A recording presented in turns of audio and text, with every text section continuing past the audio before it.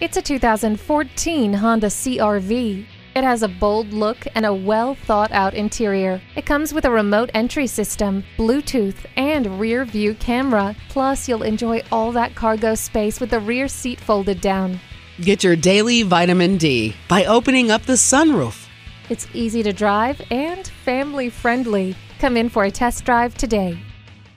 Thayer Honda is happy to pass the savings and quality on to our customers. Call, click, or stop in today. We're conveniently located at 1019 North Main Street in Bowling Green, Ohio.